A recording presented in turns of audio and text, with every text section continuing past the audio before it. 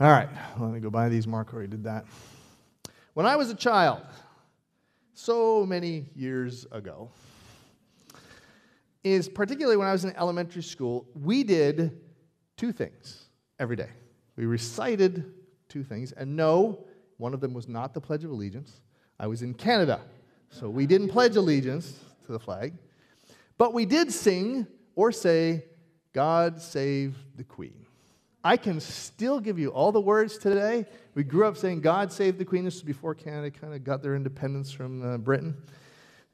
The other one you're all familiar with was what? The Lord's Prayer. Everybody knew it. It was just something you did. And that was not unique to Canada. Obviously, that was a, a staple in Western culture. It was just simply what we did, right? And it's been that way in Western culture for about 2,000 years. Um, in the US, it was actually could be mandated in schools up until 1962. And it's still, even long after that, uh, was still part of what people did in their growing up years. As early as the first century after Jesus, the Lord's Prayer was used um, in the prayer life of the early church. Uh, St. Augustine, 3 400 AD, he taught about it. It's uh, all the different expressions of the church have used it in their services. It became part of liturgies. It became part of rituals. It became part of praying the rosary. If you grew up in the Catholic faith, it's been part of AA meetings for like 100 years. Uh, it was even used, and I didn't know this, but people used to use this to cook. Before we had clocks, they would time their recipes by saying, simmer the broth for three Lord's prayers, right? And they would, they would actually use it like that, okay? And many of you have used it for your kids' bedtimes or things like that. Well, I think I told this story at one of our leaders' meetings, but it was at a funeral some years ago. It was for a, a, family that I didn't know. They weren't really a core part of our church, so I didn't really have any history with them. And they had no requests. A lot of funerals are very complicated, and they want to have this person share or this person share. Well, this family, it was really simple. They didn't have hardly anything they needed me to do. The only thing they asked was that at the end, I lead everybody in the Lord's Prayer. I thought, no problem, I can do that. I didn't write it down. I didn't put it in my notes because I thought, I've said it like a thousand times in my life. No big deal. And so we're at the end of the funeral, and it's very moving. And I said, Our Father, who art in heaven, hallowed be your name. And my mind went blank.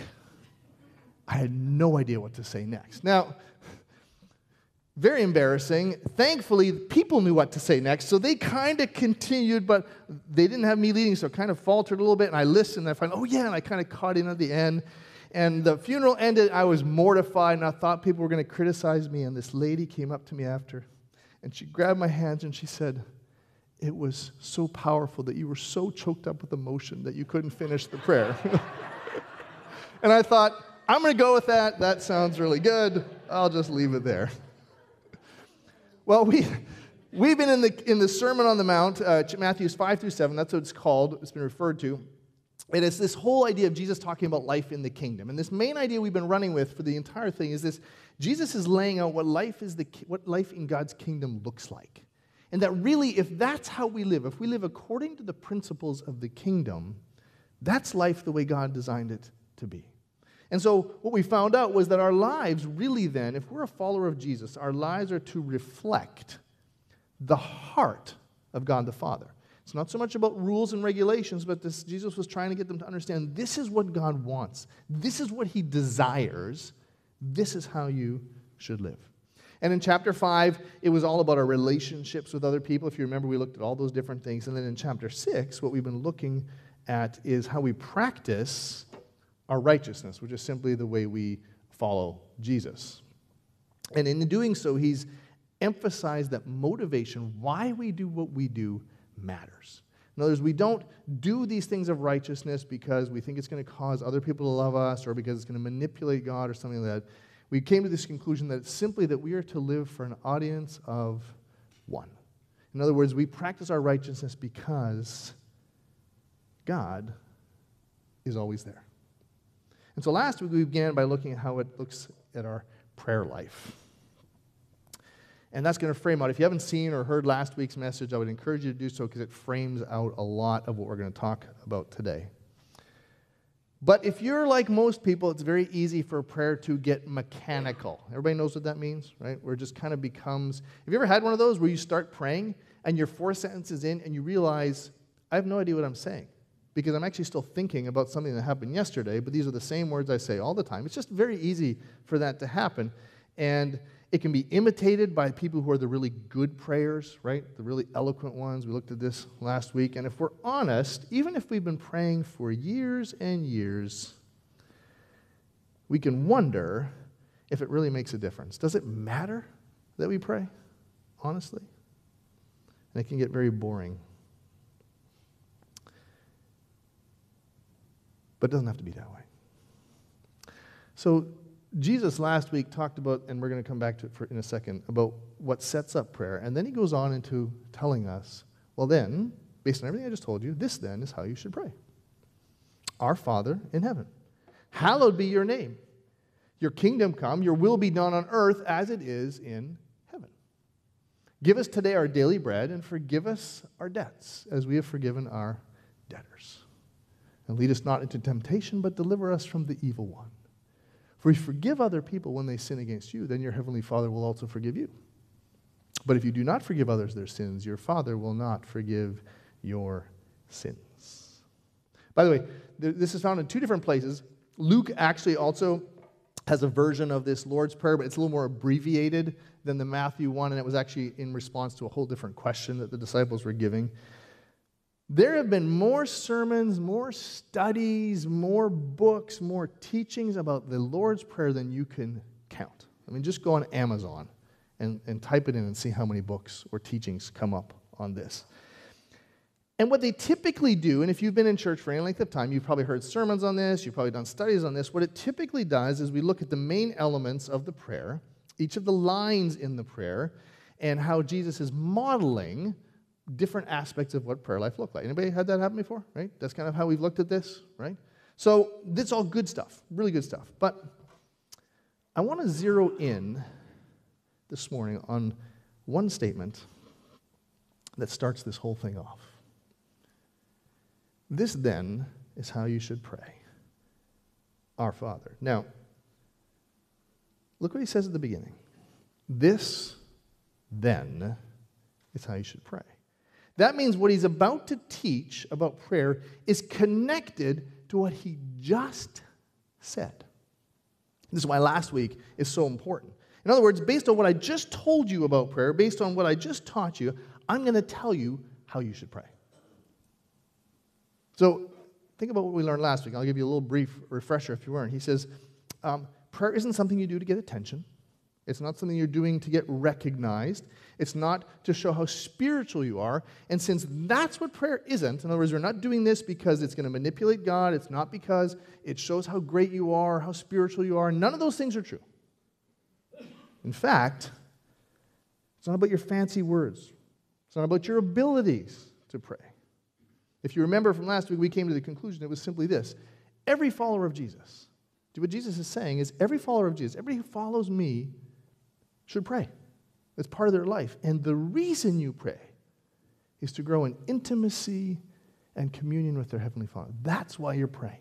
It's not for all these reasons. It's not to try and convince God to do something. None of that's true. Remember, we looked at all this last week. So, and then, he, by the way, just in case you think that's reaching, it's not because the whole idea of starting this prayer with Our Father, and you've heard this before, is revolutionary. The word he gave was a very intimate, daddy kind of term, which basically was stressing the intimacy and relationship that you had with God. In other words, the entire way to pray is about growing in intimacy and communion with God. So, if you put all that together, it's kind of like Jesus is saying this way Hey, guys, based on everything I just told you. I mean, since it's not about formulas, it's not about mantras, it's not about repetition or incantations. He, in fact, I just spoke against this. It's, not, it's what prayer is what you're supposed to do so that you can connect with God, that you can have this deep, intimate relationship with Him. That's what prayer is. So let me show you what that looks like. Kind of changes the approach. And so, what I want to do this morning is I want to look at the Lord's Prayer through that lens. this whole idea of intimacy and communion. And how does the Lord's Prayer fit with all of that? And so here's what we're going to do we're going to look at it because Jesus basically gives these statements on what and how to pray. And these, this is the part you've heard before. There's like five separate statements in here. Some people break it down to seven, but there's five essential phrases. And then we're going to look at what does that have to do with intimacy with God. I'm hopeful because it did this for me. If you were to pray this way, it kind of shifts some things in your prayer life. So, let's take a look. Start from the first one. Our Father in heaven, hallowed be your name. The thing that Jesus is talking about here is worship. You've heard this before.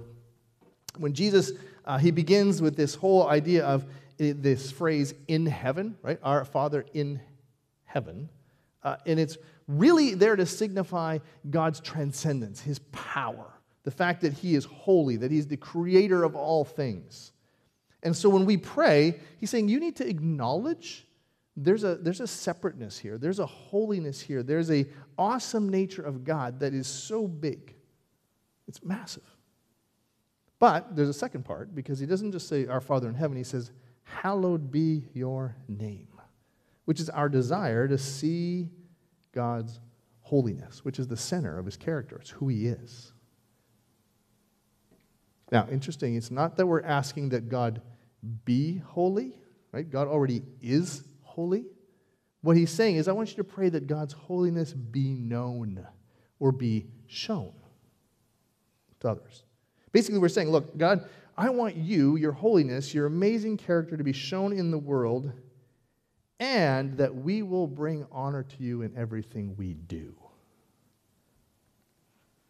He basically is God, Jesus saying, look, it's disingenuous for you to ask for God to be holy and then live an unholy life.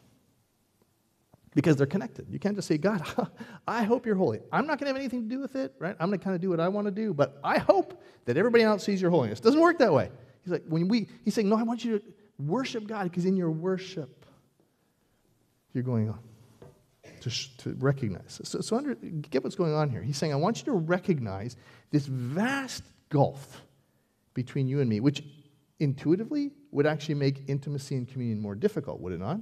Right? Because it's like, wow, God, you're so big and I'm so small. It seems like it would be counterintuitive that asking for that to happen and that his holiness and his otherworldliness would be reflected, and that seems counterintuitive. But here's what it is it's actually deepening your connection with God. Because what we're doing is we're saying, God, I want to really understand who you are and what you're like. I want, I want to understand your character. It is so big and it's so much more, but I want to get as much of this as I can. And the more I do this, the more I understand his motives, the more I'll get what he's like, what his character is like. And I'll appreciate the gap between him and me, but I will also appreciate the grace that bridges that gap. It's kind of like a marriage or a friendship.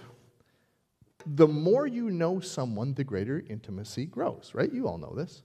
When you meet for the first time, you can kind of hit it off, but it's over time as you begin to see what makes them tick, what they care for, what their heart, you know, what, what they're passionate about, what their heart breaks for, what do they like to do, what are the things they dislike, what are the foods they like, the foods they don't like, what's their passion for justice or for moving and doing things. The more we know that, the more intimate and tight we get with another person. This is the whole point of what God's saying. Look, He says, in your worship, what you're doing is you're unpacking, you're appreciating who God is in relation to yourself. And the more you do that, the deeper your connection goes. Isaiah saw God in the throne room, and it wrecked him because it was so glorious and so holy and so big, he fell on his face. But it led to an intimacy because then God said, Who can I send? And he said, Me, come on. Right? Worship should lead to greater connection and greater depth of relationship. Because the more I understand someone, the more I can emulate them. And remember, he said we're supposed to honor God in our actions, so the more I understand who God's like, the more I'm likely to follow what he wants me to do. That's number one. Number two, he says, Your kingdom come, your will be done on earth as it is in heaven. That is simply saying, God, I'm going to let you send the agenda for my life. Whenever we hear discussed God's kingdom, and we see this all over in this prayer and in this, um, and in this entire uh, sermon, it's essentially just simply saying it's a reference to God's rule and his reign. It's saying, okay, there's a kingdom, you're the king, God, and you rule over this kingdom. That's what we're looking for, that's what we're seeking. And so, what we're basically saying, asking God, is saying, like, if I want your will to be done, then I want your design for the world, the way you see the world, the way you rule the world, the way you see your subjects. That's what I want to see happen in the world. Your desire for justice, your desire for mercy, your desire for humility. God, that's what I want to see. And basically, what we're saying is, I want the world around us. So when you look at your federal government, your state government, the schools, we're seeking God that His will, the way He would want the world to go, would happen. And most of you are like, yeah, that's what we need to pray. And then God says, yeah, but I also want that to be true of everything in your life too. Oh, okay. That means everything I do, everything that happens in the world and everything that happens in me is to conform. Well, how does that increase intimacy? Because it tunes us to Him. Because if we're asking for God's will to be done on earth, it starts with me. I'm basically saying, all right, God, I want to know your way in the world. I want to see your way in the world happen. And that means I want to live your way in the world. I want to live the way you want me to live. I'm actually going to put your desires ahead of mine. I know what I want to do. I know the things I like to do. These are the things I would wish to do. These are the things I'm inclined to kind of behave. But you know what? God, your way comes first. I'm going to actually deny myself, and Scott Smith's going to preach a little more about that next week. I'm going to deny myself to follow you. And when we do this, you know what it causes us to do? We have to trust Him.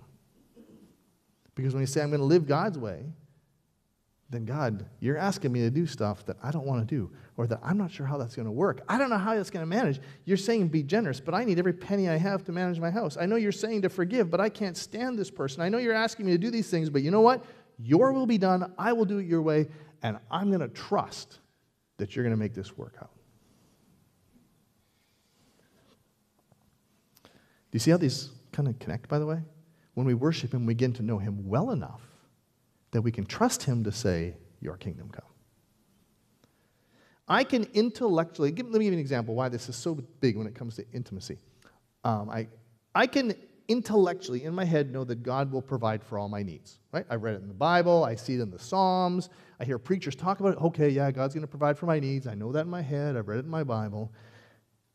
But then God says, I want you to give money that you had earmarked for the thing you wanted most to them. You don't get the thing you want. Because I'm asking you to give that up, to give it over here. And we're like, oh, I don't want to do that. But we listen and we obey and we trust. And then God provides. And amazing stuff happens. Just guess what just happened in your relationship? It got deeper and broader and bigger. when we pray for God's kingdom to come, we're saying, God, you get to set the agenda. Then he goes on, give us today our daily bread, which is basically telling God what you need, seeking God for needs that are right in front of us. And when Jesus says, um, um, give us today our daily bread, it's really, he means, I'm relying on you for my needs today. And for that culture, this was a huge deal because unlike our cultures where we get paid, you know, two weeks at a time, we have a salary and we have severance, we have all these things, their laborers got paid for what they did today. And if you got sick and didn't go to work tomorrow, you didn't get paid.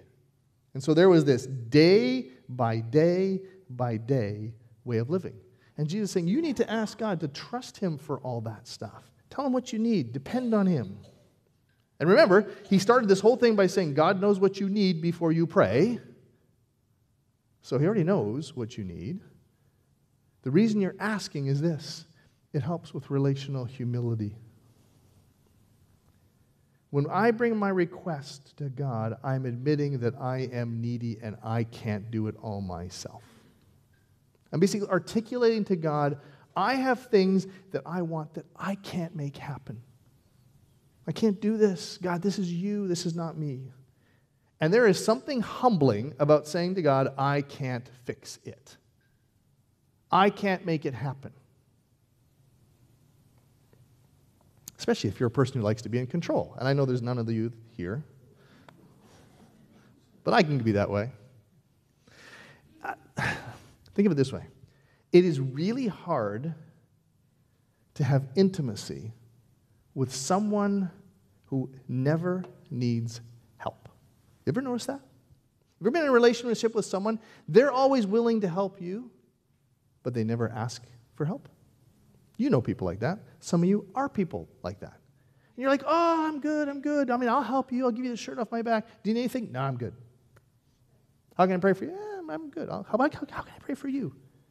Do you know that you cannot have a deeply intimate relationship with someone who never allows people to help them? When we talk to God, God's like, look, this is part of our relational thing. You need to come to me and let me know that you can't do this on your own.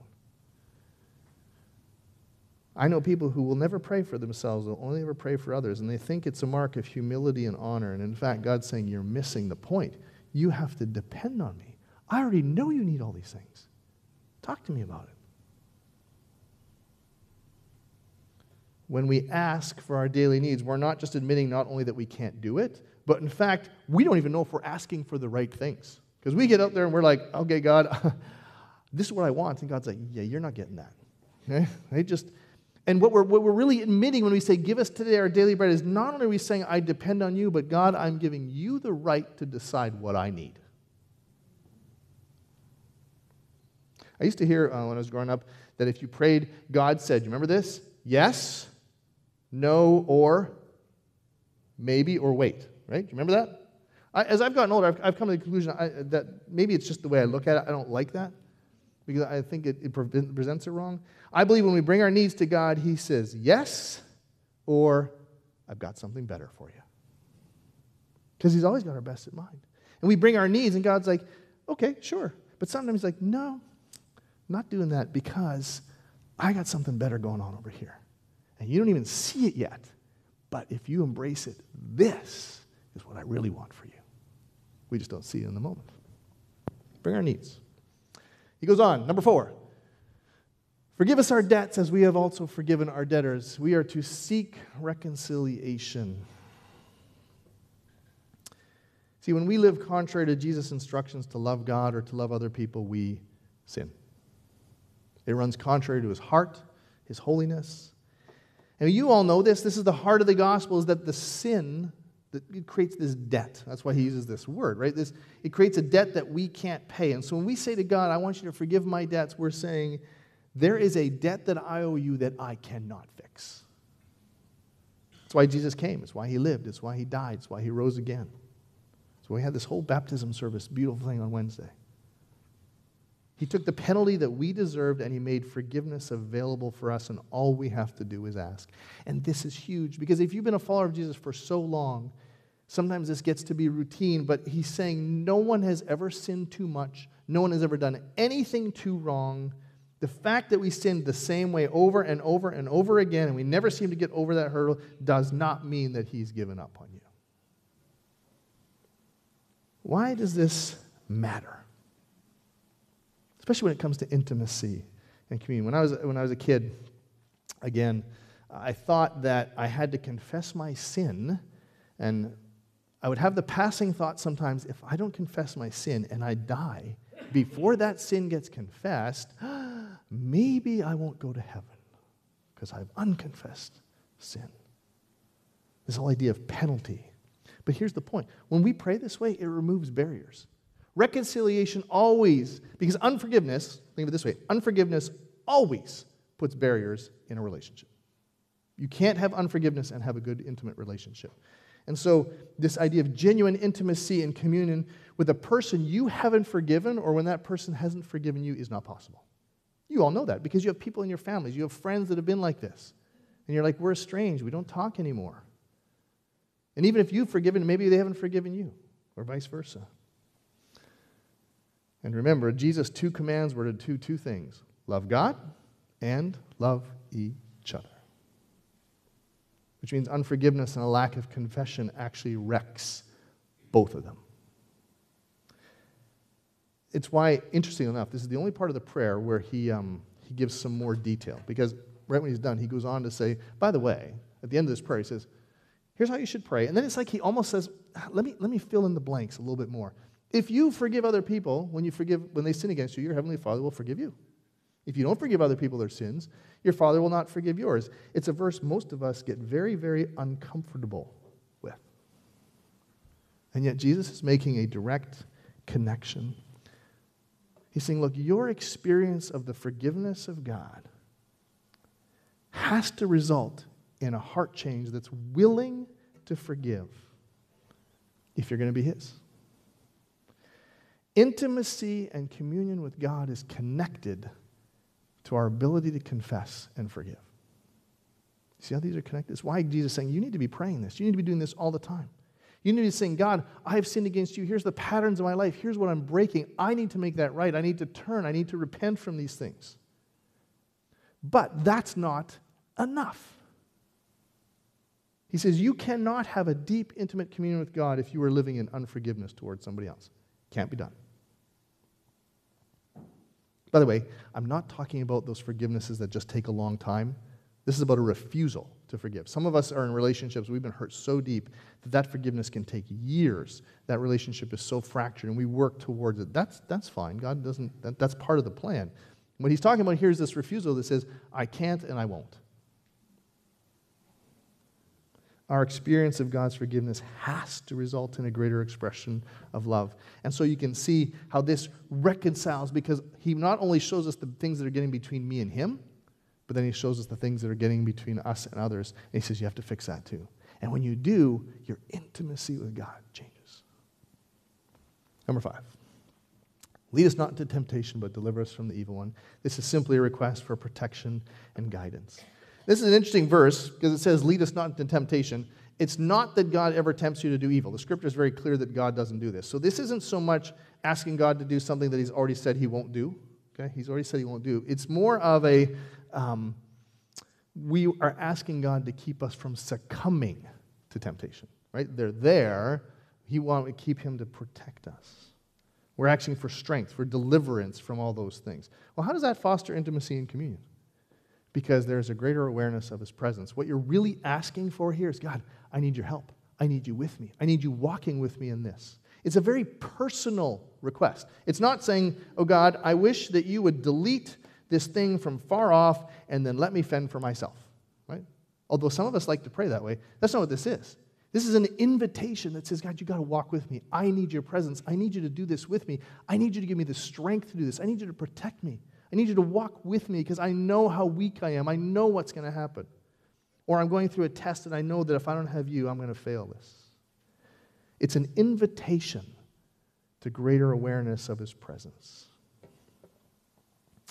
A child who is scared of the dark does not need a lecture from their father that there's nothing under the bed. They need dad to get out of the bed, to walk back to the room, to tuck him in, and tell them it's okay. And then they feel protected. This is what Jesus is inviting. He says, This is the kind of connection you need to have. And when you're asking for Him to do this, you're saying, Look, I can't defeat temptation on my own. I can't make it through the trials I'm in without Him. I need my Heavenly Father to be with me. Do you see how these are all invitations to intimacy and communion?